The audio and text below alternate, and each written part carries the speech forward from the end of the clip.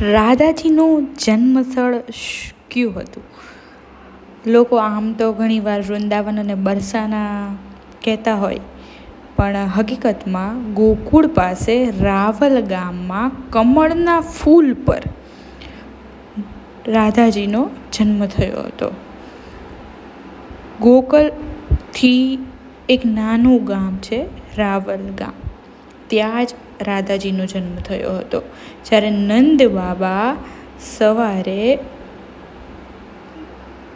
યમુનાના કિનારા પર ગયા, ત્યારે એમને રાધાજી ત્યાં પ્રકટ થયેલા મળ્યા હતા. રાધે રાધે